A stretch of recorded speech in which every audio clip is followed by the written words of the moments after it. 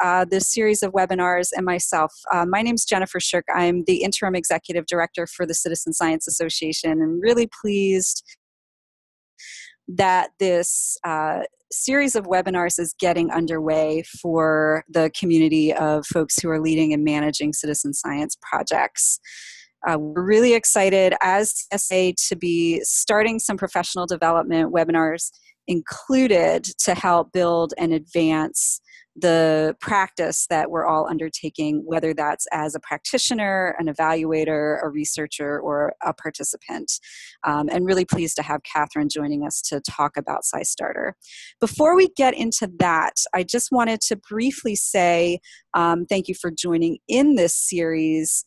Um, and uh, remind us all that as the CSA, we're working to advance citizen science as a whole um, so that we can be reaching uh, practitioners across the globe um, to promote the, the practice of citizen science. And we have these uh, this series of uh, webinars coming up.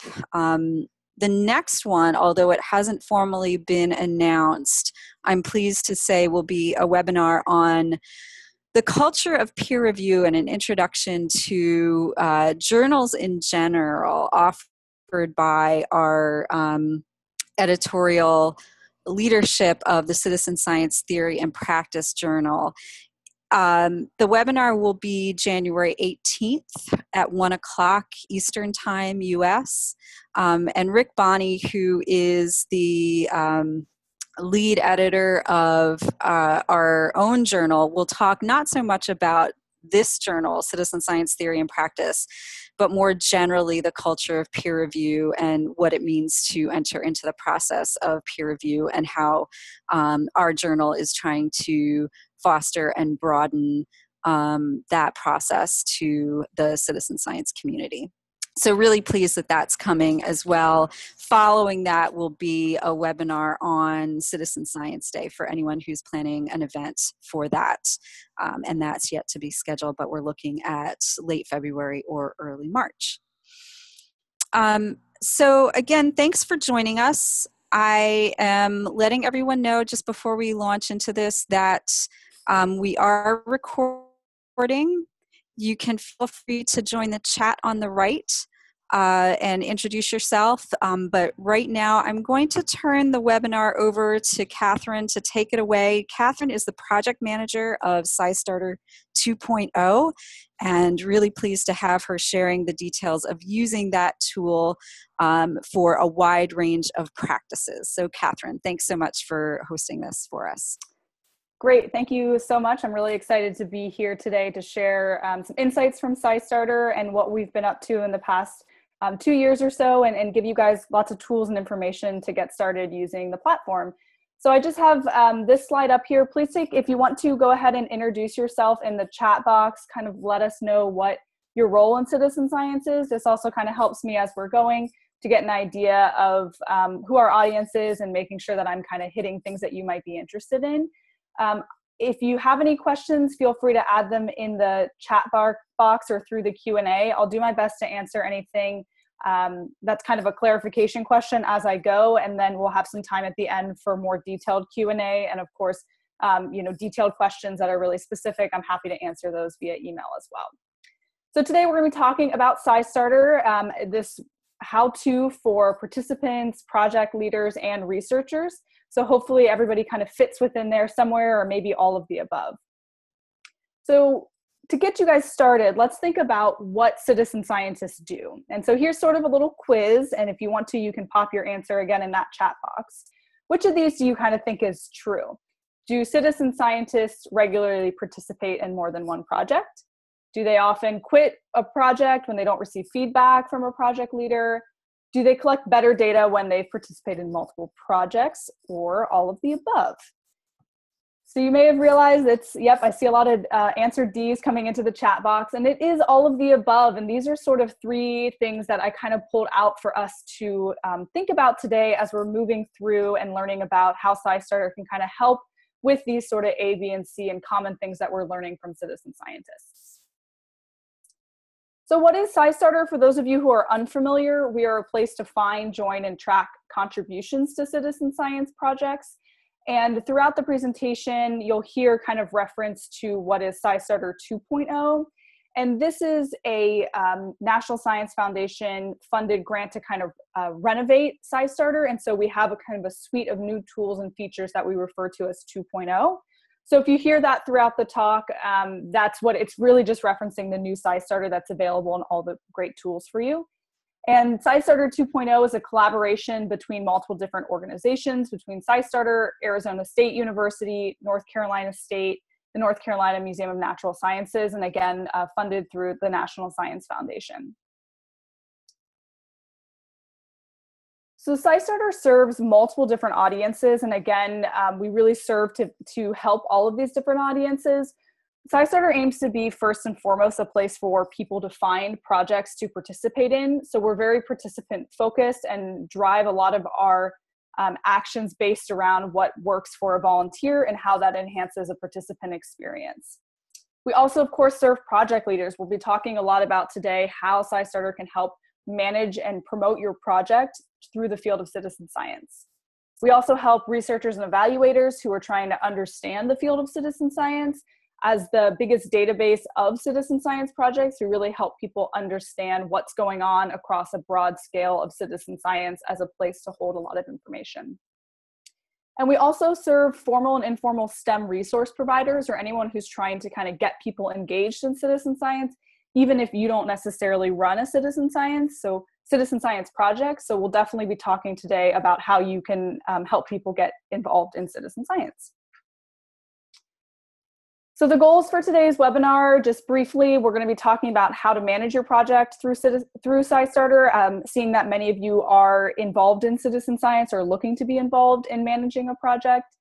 I'll talk a little bit about those new NSF funded tools show you how to use our analytics on site for both um, project manager based uh, analytics as well as more broad analytics that are available to researchers and evaluators.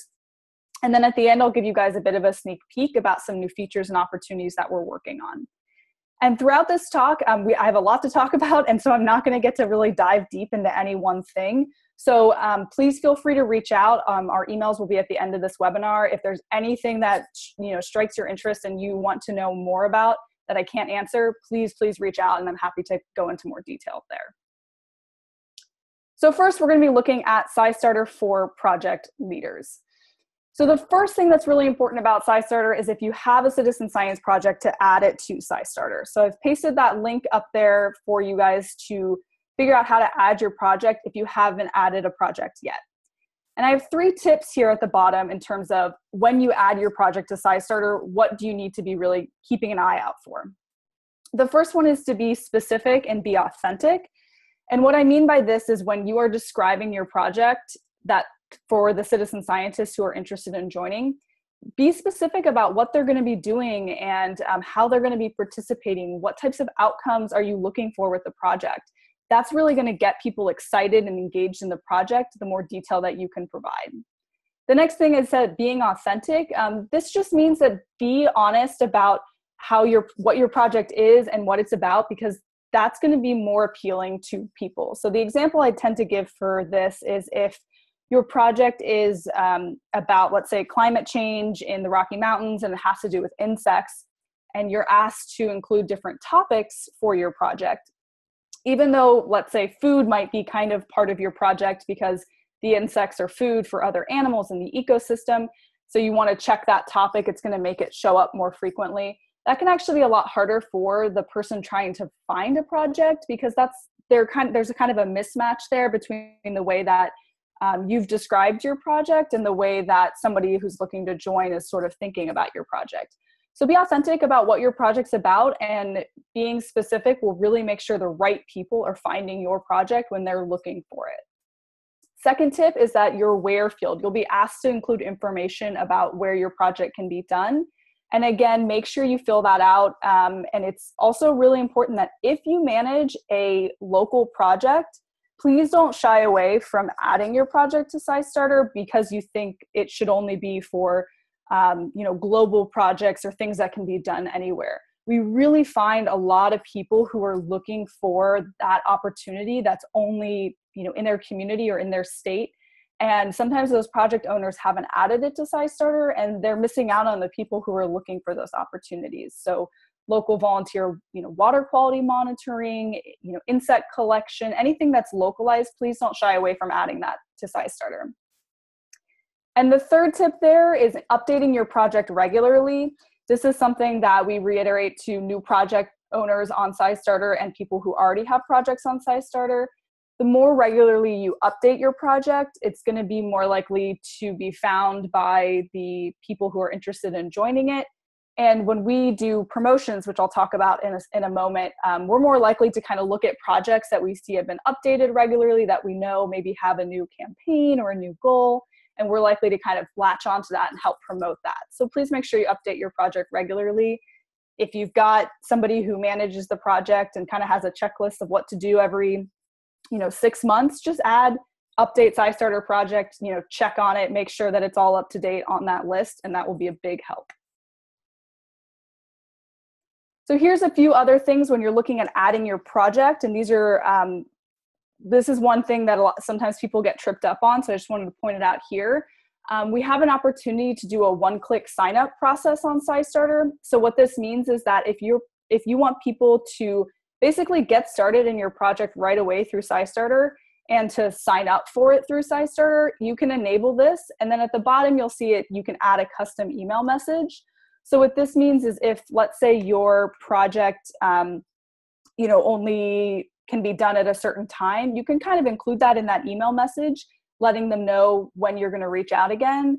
Or if there's a certain tool or piece of equipment that somebody needs, you can get that information to them right away so there's no delay in them getting started in your project because they're trying to find out the right materials that they need. So now we're going to look kind of at project management as a whole, and um, we're going to look at the steps through um, through what we consider project management. So I see one question that just popped up here about um, SciStarter kind of in an international sc scope. And we do have projects from across the world within SciStarter. So again, very much encourage you to add a project in there. In terms of language support, we're still, most of our projects are still in English, but um, if that's something you're interested in, again, please reach out and we can communicate individually about that. So here's what we look at when we think about project management. And this is project management for citizen science projects that exist you know, outside of, of SciStarter. You're promoting your project, you're recruiting your project to find the right participants, you're getting your volunteers registered or signed up or some way to kind of have them involved. You're regularly communicating with them, collecting data, potentially equipping them if they need different tools. Then you're going to be evaluating your project and you want to build community. A lot of citizen science projects aim to kind of continue that community building from their project and beyond. So we'll be talking about the different ways SciStarter can hit a lot of these different elements of project management. So first thing is that we help promote projects, and this is a free service that we provide when you register your project through SciStarter. We have a network of blogs, including Discover Magazine, Public Library of Science, National Science Teachers Association, um, Philly.com, and many others as well. So we help promote projects through that. Once your project is added, you're eligible for promotion there. Our project finder is also on other websites. So, for example, PBS SciGirls right here.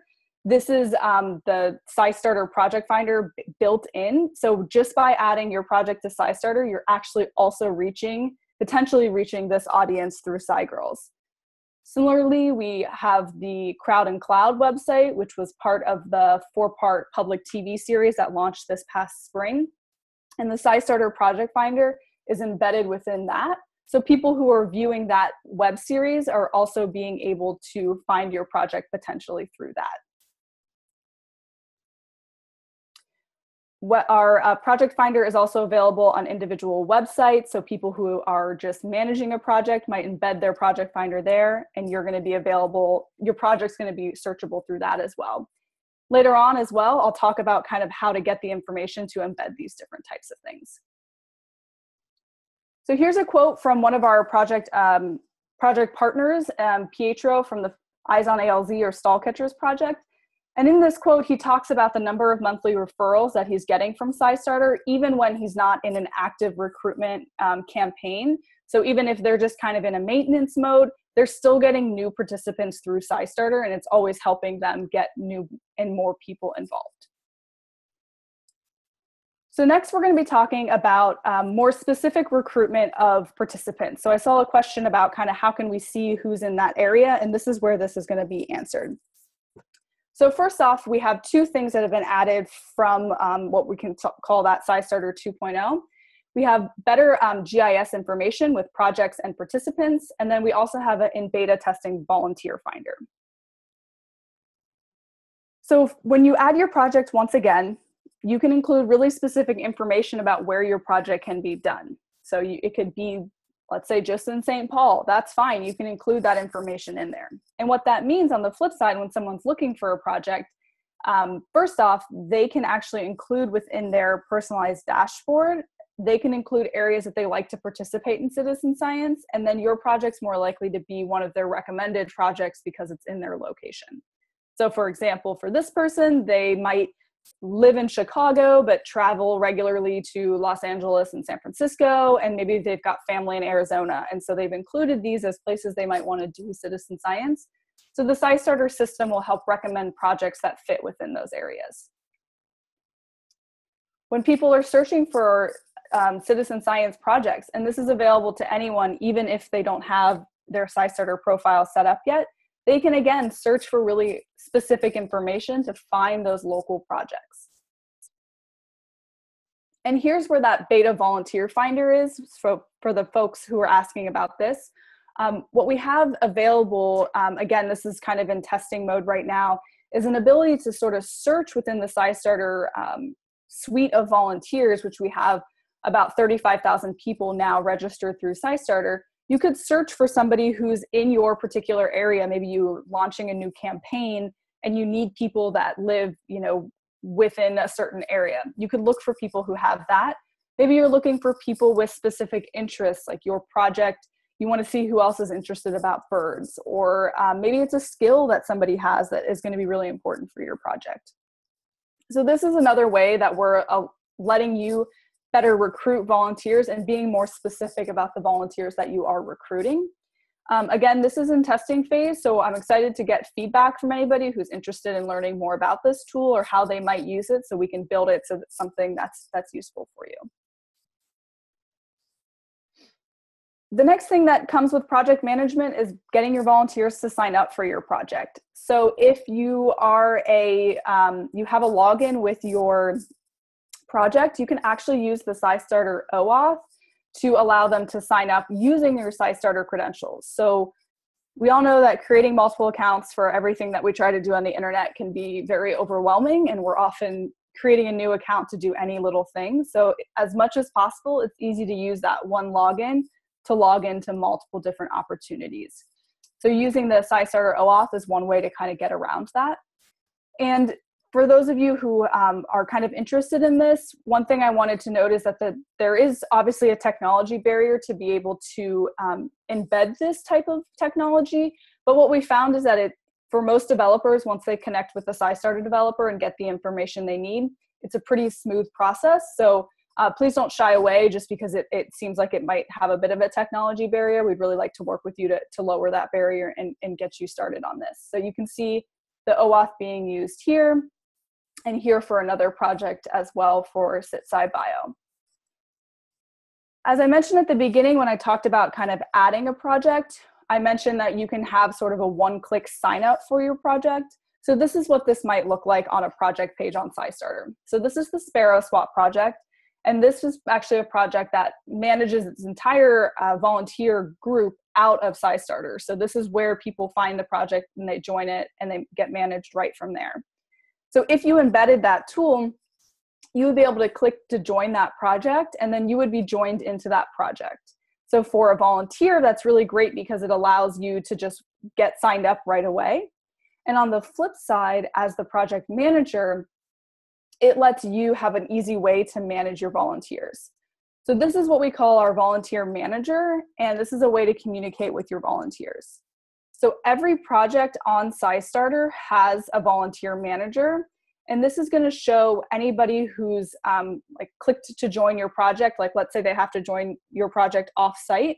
Even if they click that join button on SciStarter and then they go to your website to do anything else that they need to do, that person's information is still within SciStarter here. So this offers an opportunity for you to um, reach out to people that you know were interested in your project and maybe they haven't um, registered yet, or maybe you want to let them know about an upcoming webinar that you're hosting about your project. I know that the Globe Observer Project has used this tool to kind of reach out and say, hey, we're hosting a webinar about our project. It's on this date at this time, you know, come join. And this is a great way to reach out to new people and communicate with those people, those volunteers. And again, we see that a lot of volunteers don't continue to participate in projects because they maybe don't hear back or they don't get that feedback that they, they need to kind of take that first step. Recently, we've also um, created this opportunity for people to directly message a project. So on your project page, there will be a button that says that they can message your project. So again, this is an opportunity to um, be able to communicate with people who are interested in, in in your project and maybe they've hit a barrier along the way and they need some feedback from you. So it could be um, you know hey i i tried to sign up and i saw a glitch and i'm not really sure what to do next or where do i find this tool? I, I don't really know w- what i need to do with that. So it's again a good opportunity to communicate with those volunteers make sure you're reaching back out to them when they're interested and um, continuing to help them stay engaged in citizen science So SciStarter is also starting to test out ways that we can help with data collection. So I see a question that just kind of popped up about different web-based citizen science services, um, mentioning iNaturalist and citsci.org, and what does sort of SciStarter look like compared to those. So one thing is that we um, have a variety of projects. So we have projects that are online only, projects that are in the field. It's really an opportunity for people to find projects across any topic or activity. And then we're also testing out some of this data collection ability, which is for people to um, actually have data collected for their project right through SciStarter. So the example I'm showing up here is a project that is um, called Stream Selfie. So this is still a customized feature that we built with these project leaders and it allowed them to collect data right from SciStarter. So the person was interested in the project on SciStarter, they clicked to join it and they went right into being able to collect that data. So we can include information about location, uploading um, pictures, adding text boxes, check marks, all of that kind of stuff with data forms. Um, and we are looking at making this more of an embedded feature, but right now it is more of a, a customized where you would reach out to us and we would work with you to create this type of data form. So again, what does this look like on the um, project manager side? Here you can see this is Stream Selfie's um, project page and their, their project dashboard, and they're able to um, manage and download any of that data, manage their map and photos, and get all of that information downloaded so that they can analyze it or do whatever they need to do with it next right from that SciStarter.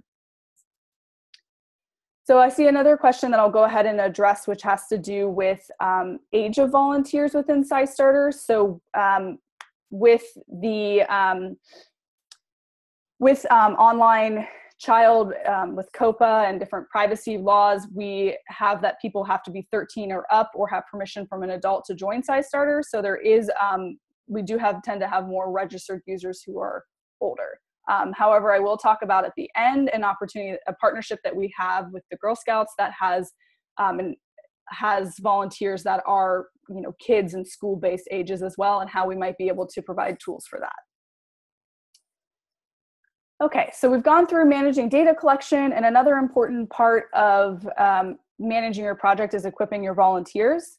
So we have a in beta um, uh, tool finder, which allows people to find tools that might be useful for projects, figure out where they can, um, what we call build it, buy it, or borrow it. So whether or not they want to, um, it's something that they could get downloadable instructions for, if it's available for loan from a library, or if there's somewhere that they can purchase it. So here's kind of an example of what that tool page might look like. So it has an example of the tool, information about it, and then um, over here it has, again, this is just kind of a, a test right now, but it's showing different projects that that tool might be able to be used with. And so this would offer the opportunity that if I owned, you know, a phone lens and I wanted to use it for a project, I could see, you know, three or four projects that I could actually use that tool with, even though maybe I bought it just for, you know, my own enjoyment or something like that. So if you have um, a tool that you use for a citizen science project, if you are somebody who has created a tool that's low cost that you think would be useful for citizen science projects, I've included that link there at the bottom um, for how to add your tool into the SciStarter database. So why is this kind of important? And this is sort of the, the graphic I have for thinking about the tool. Um, your tool is then available for project managers who are looking to find a low cost tool for their project. It's also going to be discoverable. So when people are starting a new citizen science project and they're trying to kind of find all those different components that are going to make a good project, your tool will be discoverable so people can find it that way. And then I also say that volunteers can find your tool. Again, if I'm somebody who already has a tool that's that I um, that I want, I might be able to find a project to use with it, or I'm going to find a new tool that's going to help me answer another question or participate in another project. So this is still very much in beta form and testing, and um, right now we're building out that vol- that tool database. So please again add a tool if you have one, or if there's something you think we might want to look into um, you know, send us an email and we can see if it's something that's already within our database. So next I'm going to talk about um, our SciStarter contribution tracking and what we consider our affiliate program. So this is another big part of our SciStarter 2.0 NSF funded grant to really provide new and different tools for the field of citizen science. So this allows a us to track contributions to a variety of different projects. So I'll kind of move ahead just to this slide because I think this might help kind of visualize it. With our SciStarter affiliate program and our contribution tracking tools, again, we know that the, the landscape of citizen science is broad, and we know that people are participating in different projects of different topics and different types across this landscape. But we often only think about or look at projects sort of in their bins separately and this allows us to kind of track participation across different projects and get a, a better idea of what that field looks like broadly. So going back to sort of the goals of this, first off, our contribution tracking allows a centralized project agnostic place for recognition tracking for citizen scientists. So it provides a place for people to start to then participate in those multiple projects, to come back to, to continue to participate again. It also helps provide better research into learning goals so we can have a better understanding of how people participate in projects across that broad scale. And then for you as a project leader, by using these different tools, you can actually get enhanced analytics about your project participants. So, um, you know, think about the different questions that you might want to know about your participants. You don't necessarily know what other projects they're participating in or if they've participated in something in the past. And these are new tools we're developing to answer some of those questions. So here's again is this kind of broad look at this, and these are some of the different projects that have worked with us within this initial phase to implement these contribution tracking tools. So there's two main tools that I'm going to talk to you about today for becoming part of this affiliate program and um, you know helping your volunteers track their contributions and earn credit for contributions. The first one is what we call the SciStarter snippet.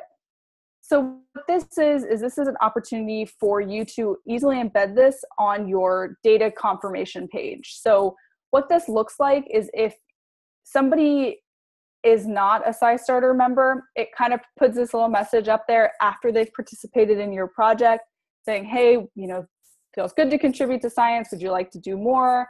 you can sign up for SciStarter. And if they want to do that, it actually lets them sign up right from that page. So they don't need to, um, you know, leave your project site to then start to track contributions through SciStarter and help to find more opportunities to get involved. If somebody already is a SciStarter member, it promotes a different message that just sort of confirms that, hey, you're a SciStarter participant, and these are all going to be shown in your dashboard. So I'll show you kind of in a moment what that looks like from that volunteer experience side. So this is sort of the easy um, embeddable snippet. It's available on, once you've added your project to SciStarter, it's available, available on your project dashboard. Uh, so right where that arrow is showing you there, it kind of shows you whether or not that's already been enabled for your project and then what that looks like. So it's a really simple script that can be embedded into your project data confirmation page. And what I mean by data confirmation page is think about the page that, um, you know, let's say somebody enters all their data, they hit submit, and then there's that next page that says, you know, thanks for participating. You know, here's what you're helping us to understand. Here's what we found in the past. On that page is where you can embed that snippet, and that's saying, great, we know that they've participated in this project. Alternatively, we also have a participation API. And so I've pasted just some of the information kind of details again about the API. But what this allows us to do is have a better understanding and um, tracking of the person who's participating in the project and getting them that credit for that contribution. So with the SciStarter participation API, it's based on the email address that somebody logs into your site with so that they're able to that we're able to confirm that that's the same person and give them credit on their SciStarter dashboard. So we really encourage people to use this method um, because it allows it, it's just a little bit um, of a more precise connection between the person participating in the project and getting that that um, confirmation on their SciStarter dashboard. So again, I've included the scistarter.com slash API link up there if you're interested in learning more about this. And again, there is this is something that has technology and has development behind it. But what we found from many people is that this is something that can be easily implemented um, with a developer. Once they've talked to our developer, gotten all the information that they need, it's usually a fairly quick implementation. So again, please reach out if you're interested in it and we can kind of help get started along that process. So some of the feedback from our initial project owners have been positive, especially about, you know, the ease of implementation of our snippet, which is really supposed to be the lowest barrier for us to have that contribution tracking to become part of our affiliate network of projects. So Connie Walker from Globe at Night was saying it was very easy to implement that part of the snippet um, and didn't didn't need any additional development or technical expertise in order to make that happen. Now, the bottom quote here is from Julian from CoCoRaHS, and this is his kind of um, perspective is starting to show a little bit about what the benefits of becoming part of the SciStarter affiliate network and how that is benefiting him as a project leader. So, by using these affiliate tools, he can actually learn more about his uh, participants within the project because he's unlocked sort of um, affiliate only tools within SciStarter. So, that's what I'm going to talk about a little bit next. So, what again are those benefits to affiliation uh, from an evaluation point of view?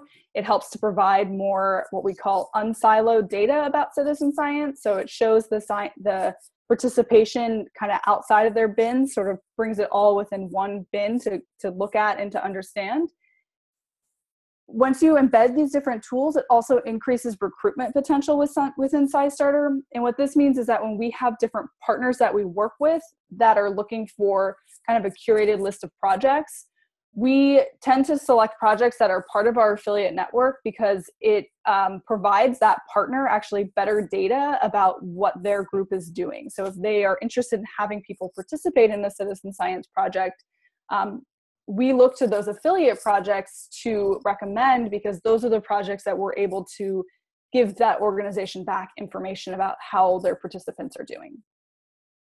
Point number three, which is what Julian referenced in that previous quote, was understanding enhanced on-site analytics about his project. And then number four is access to that volunteer finder that I mentioned at the beginning, and that will eventually be a, a tool and benefit for folks within our SciStarter affiliate network. So these on-site analytics, what does that look like? What is the benefit of that? So here's information from a, a project that uses our affiliate tools. And it's kind of this crazy pie chart, um, but what I see is um, that here it is showing um, people who have joined this project. In this example, I use Eyes on ALZ. What other projects within the SciStarter network are those people joining? And what's really interesting here is it lets you sort of start to understand what are your participants doing outside of your project? Where are there potential partnerships that you may not have identified earlier? Um, for example, you know, you might see people who are doing your bird watching project are also doing a project about light pollution, and maybe there's an opportunity for you to partner there because you might have participants in common already to collect new data and answer new questions. Or you might see that um, people who are participating in your project about Alzheimer's, for example, with Eyes on ALZ, you might think, oh, they're going to also participate in medical projects, but it might be that they participate in projects that we tend to see a lot of older um, retired participants participating in. Because it's more about a connection between topic between the topic of alzheimer's and aging and the top and information that other participants like to other projects that participants like to um, be involved in. So again it's a lot of analytics that you're going to start to get um, to get and to learn about and to learn more about your participants outside of your individual project Okay, so what does this all look like from the volunteer experience in SciStarter? So like I mentioned at the beginning, SciStarter aims to be very participant focused and the tools that we create for project owners, ultimately we want those to reflect on a positive volunteer experience both within SciStarter as a whole and within the broader landscape of citizen science. So here is um, the participants dashboard. So here's where they kind of get that um, holistic view of their contributions within citizen science. So this is an example of a, a, you know test dashboard that I've created. So I can include information about you know where I live and where I like to participate in citizen science, um, what my interests might be, uh, what instruments I have, what other what tools do I already have at my disposal that might be beneficial for participating in a citizen science project. And then within my dashboard, I can see a lot of recommended projects that are going to be ones that I might want to participate in that I might not have found without, you know, having this kind of recommend recommender system that uses this information to provide those more personalized recommendations. I can dive deeper into my projects and the ones that I've participated in by looking at my projects bookmarks and events and I can see what I've participated in maybe I haven't participated in that project in a while and I want to get back involved in it. Maybe that project, um, you know, is no longer active, but I want to see another project that's similar. I've got related projects down here that I might want to get involved in. Um, if it's a project that uses our contribution tracking, I can actually see my participation history over time. For this example, I haven't hadn't made any contributions in a while, so it shows that line, but it would show those contributions over time it also provides an opportunity for that citizen scientist to kind of have a public facing view of what they what they are and who they are as a citizen scientist. So here's an example of my profile. So here's where we start to kind of build community within citizen science. So this has again information about me. It has um, you know a little bio about myself. I could put whatever i want to you know want in there that kind of describes me as a citizen scientist it shows people the different projects that I've joined, um, my contributions to affiliated projects, anything that I've bookmarked that I might have been interested in getting involved in. So it starts to provide an opportunity for citizen scientists to really showcase themselves as that multifaceted, multi-project participating person that has all of these different components within within one person. So this is again where that sort of SciStarter dashboard to uh, you know what we say drive participation participation and research in citizen science this is where that sort of participation participant view of SciStarter comes comes in. So the last group or the second to last group that i'll talk about here is sort of SciStarter for research and evaluators. What does it look like um, to use SciStarter for research and evaluation and what sort of opportunities do we have there so the first thing that I'll mention is we have I have this URL up here, scistarter.com slash research. That's a good place to start to kind of see what uh, research projects we've been involved in in the past and what we're looking for in the future. And then the one tool that I wanted to mention is what we kind of call our magic eight ball. of um, analytics and understanding citizen science projects. So this is an opportunity to kind of get that like quick look at what do these different projects look like. Um, you can search and understand by what activities. So you know what projects are um, can be done at home what projects are online what are you know at museums what are you know on a walk what audience are they? Are they projects for kids adults seniors? Location are they outdoor indoor? What skills are involved or gained from doing the project? What topic do these projects cover are we seeing a lot of ecology projects? Are we starting to see a you know a growth in the number of projects added to SciStarter that are medicine or health related? How is that might be changing over time? What projects have classroom materials available? What projects are indoor versus outdoor? And what are you know online only projects? So this surveys the entire um, database of SciStarter citizen science projects so it serves um, about 1600 different projects so again you're getting that kind of quick glimpse at what this looks like so what does it look like when you kind of use the magic eight ball um, it'll give you a pie chart like this. I picked the most basic one to just show you what it looked like and not ruin all the surprises of getting to play with the Magic 8 Ball. This is online versus non online projects. So um, we see about a quarter of the projects are online only projects within SciStarter, and three quarters of them are not online only projects. So again, that's like that quick glimpse that you're you would be getting from these initial research and analytics. But really, here is an opportunity for me to ask you guys for feedback and to let us know what you're interested in. This is something that we're really starting to develop, and we want to know, um, you know, what is it that you don't know about your volunteers that a tool like SciStarter and the, the information available might help you answer. Um, what is it that you you don't know about projects out there within the field of citizen science that you would want to be able to answer through something like this? and with that our profile system of being something that encompasses multiple different projects it is more you know all encompassing than individual profiles on individual projects so what is the potential there to ask new questions to get more information so again this is very much a, a opportunity for you to provide us feedback uh, Caren Cooper at nc state is our director of research so if this is something you're interested in or if there's been a question that you're curious about um, please send her that information and we can begin to have that conversation. Okay, so the last part I'm going to talk about is um, SciStarter for those STEM resource providers and for folks who might be wanting to encourage others to get involved in citizen science, but you may not necessarily run a citizen science project yourself.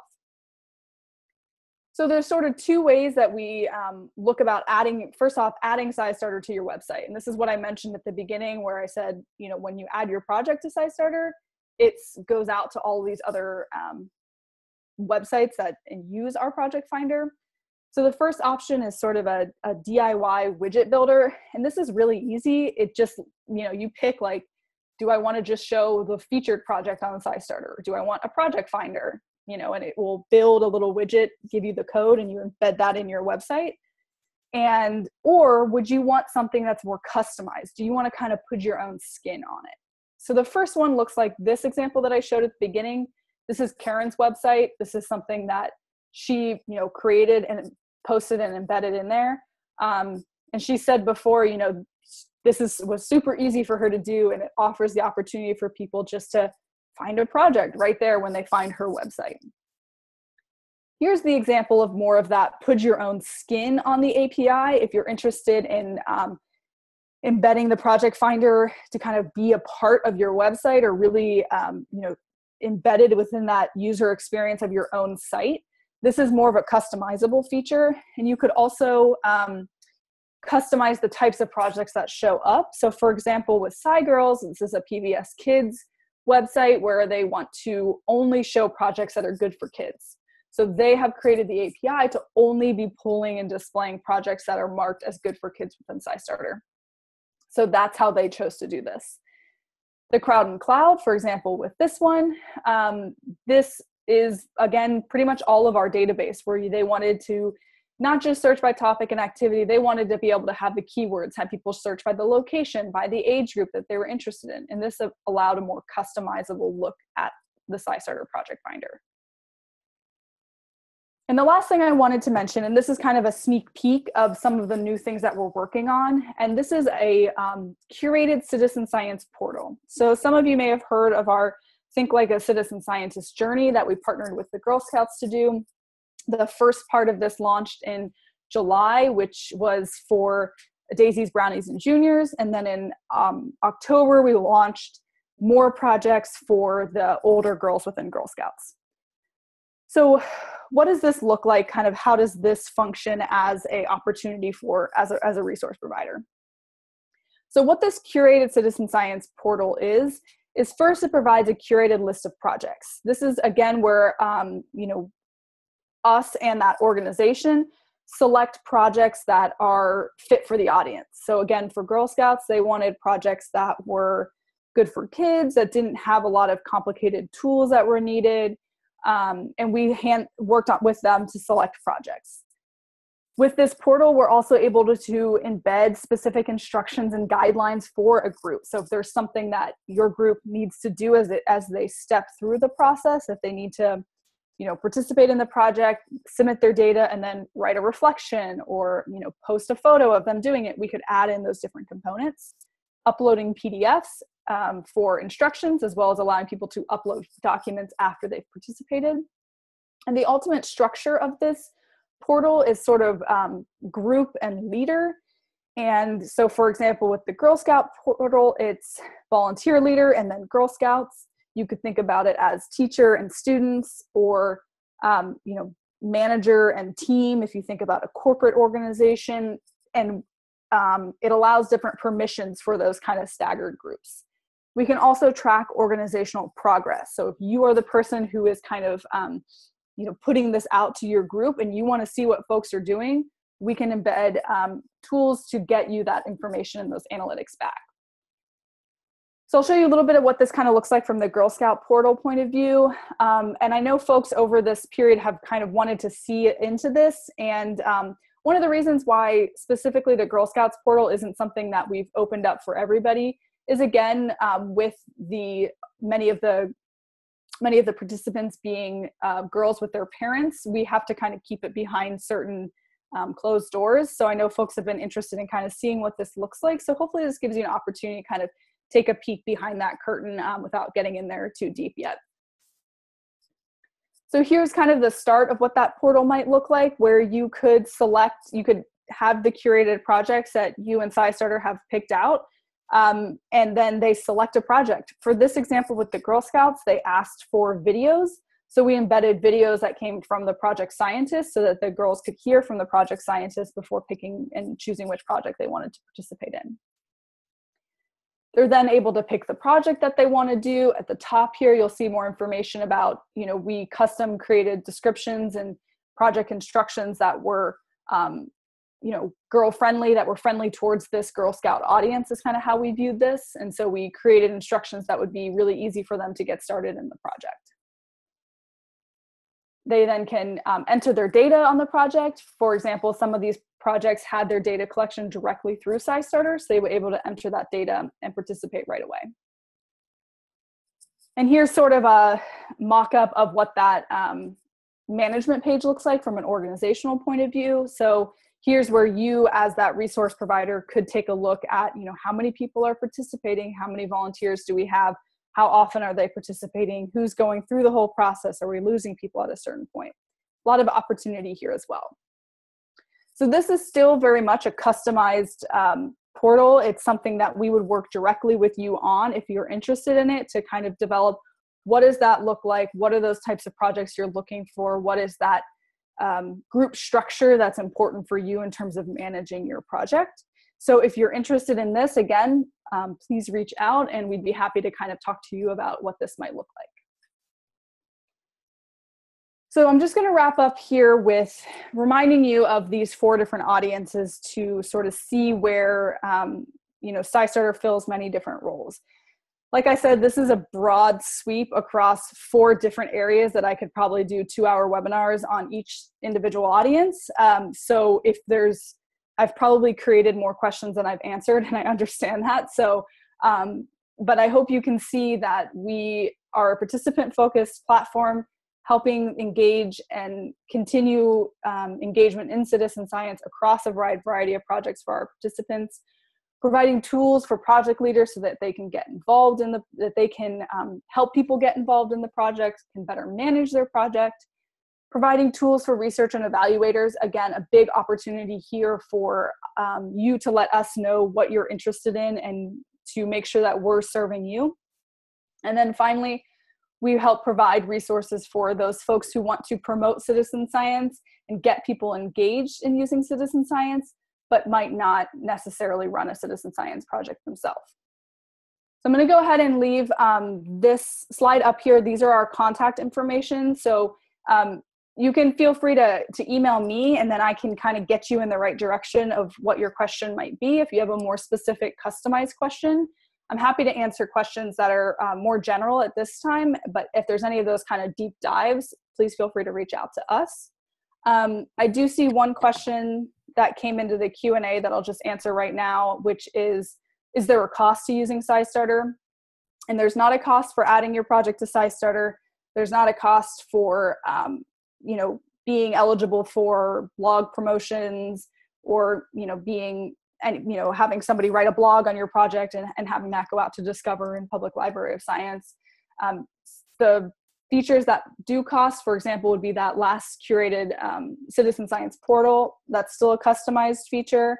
So that would still you know be potentially on a cost basis as we would communicate with you. And there's also no cost for um, the participant who wants to find projects through SciStarter, there's not going to be a cost for them to just search and get involved in the projects. Catherine, thank you so much for that webinar. And I will just add to what Catherine said that we can open this up to questions and answers. There's two options here you may use the chat window and we can um, voice those questions there's also a q&a window uh, as we get more fluid with the use of this platform i could explain to you the pros and cons of one versus the other but please feel free to use either at this point and we'll make sure you can be heard. I will um, just say two things before we open that up. One before folks stop uh, start signing off for this i'm going to add to the chat a link where you can provide some feedback on the webinar series in general. So please, we would welcome you to add more ideas for how we do these webinars, both logistically as well as topics that you might be interested in seeing in the forthcoming months. So please look for a link to that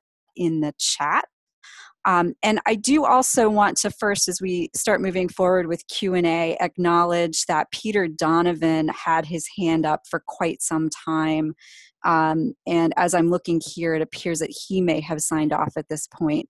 Um, but Peter, if you end up watching this video, uh, please do email any of these folks directly with your question but with that said, please do chime in here with your questions and we'll make sure that Catherine can spend some time responding. And I see two in the Q&A window. Um, one that says, is the volunteer manager function compatible with other volunteer management programs like Volgistics? Yeah, that's, do you know? Yeah, that's a good question. So um, Volgistics obviously is, is um, you know solely focus on volunteer management so they have a broader suite of tools um, than than what our current volunteer manager has. So it's a little bit more of a lighter touch for you to kind of have that communication option. Um, we we have looked at um, i mean it does include information about if we have that person's um, like zip code if they've included that. So if you want to look for you know uh, people by location there's some kind of capabilities there we are starting to look at um, having people's contributions tracked within that volunteer manager. So if you use one of our affiliate tools, that will kind of automatically pull in. But you could also, um, you know, if you get paper data sheets, for example, and you want to say, oh, this person, you know, participated, you can go into your SciStarter volunteer manager and kind of add a point of contribution for that person. Um, so those are kind of the tools that we're looking at right now. It does have the messaging capability. So if you just wanted to send a message out for folks, you can do that. The thing that it doesn't have is um, you know, where Volgistics, you could assign a pin and somebody could, you know, come volunteer if they're volunteering at a place or something like that and you're tracking really specific time it doesn't have that yet although that's something that we've been trying to kind of understand of how to calibrate um, contributions to time. Like is one contribution a minute? Is it an hour? It depends on the project. So um, i would say it, it, explore it and see what you're looking to get from something like volgistics we might have it if you're not looking for a really deep dive into the volunteer management side. Okay.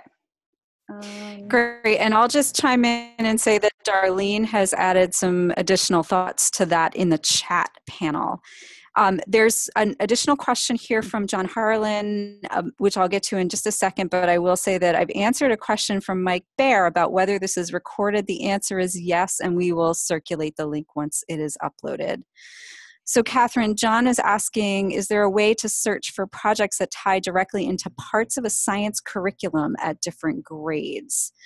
Whether those are very short term, like one or two days?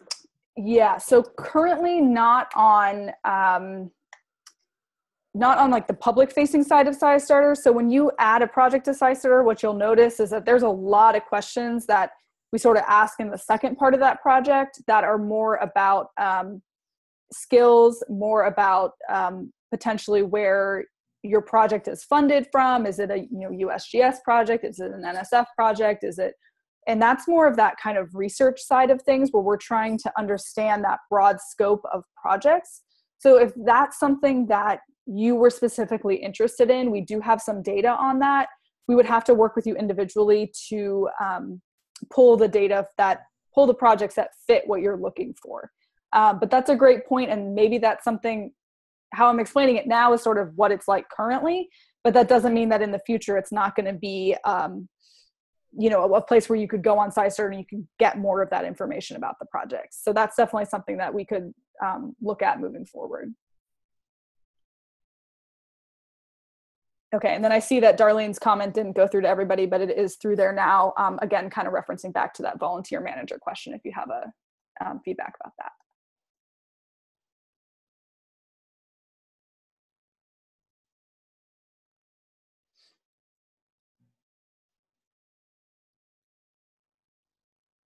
Any other questions? Great. Well, without uh, additional questions, I'd say that we have uh, kept to time incredibly well. Again, the contact information is there for everyone on the SciStarter team. Please feel free to be in touch. Thank you all for joining in this webinar and this webinar series. Again, there is a link in the chat to uh, a Google form where we are very much looking forward is for advancing this webinar series, whether they're thoughts on topics, thoughts on logistics, or even offers for um, helping to plan. So again, thank you all for joining. Really glad to have you. We will circulate a link to this recording and it will be available on YouTube. So uh, look for that coming your way um, within the next few days. Thanks, everyone. Thanks, Thank Catherine. for joining. Thank you so much.